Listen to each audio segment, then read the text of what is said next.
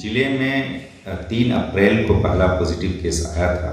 उस केस के पहले भी हम लोग यद्यपि लगातार अपना प्रयास कर रहे थे, लेकिन उस केस के बाद जो केस डिटेक्ट हुआ, हम लोगों ने पूरे एरिया को कंटेनमेंट जोन बनाया और कंटेनमेंट जोन में लगातार सर्वे और स्क्रीनिंग कर करके एक एक व्यक्ति की जाँच की गई।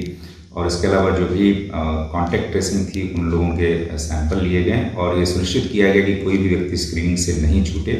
उसका परिणाम है कि आज चौदह दिन, पंद्रह दिन बीत गए हैं और कोई भी नया केस हम लोगों के सामने पॉजिटिव भागलपुर ज़िले में प्राप्त नहीं हुआ है। इसमें सभी लोगों का प्रयास बिल्कुल रहा है और इसके लिए मैं लोगों को भी धन्यवाद देना चाहूँगा कि जिन्होंने घर में रहने के लिए जो स्टे होम है उसको उन्होंने परिपालन किया है और आगे भी मैं उम्मीद करूँगा कि ये हम लोगों की जो उपलब्धि है, ये अभी फाइनल उपलब्धि नहीं मानी जानी चाहिए क्योंकि अगले चौदह दिन भी काफ़ी इंपॉर्टेंट हैं और यदि हम इस पूरे क्षेत्र में कोई भी नया पॉजिटिव केस नहीं आने दें या अपनी ट्रैकिंग को इतना बेहतर रखें तो हम लोग इसको लगातार करा रहे हैं। बिल्कुल ट्रैकिंग लगातार जारी है। House to house house to house door to door survey कराया जा रहा है। और ये सुनिश्चित किया जा रहा है कि कोई भी सस्पेक्टेड व्यक्ति हम लोगों के आधार से नहीं छूटे।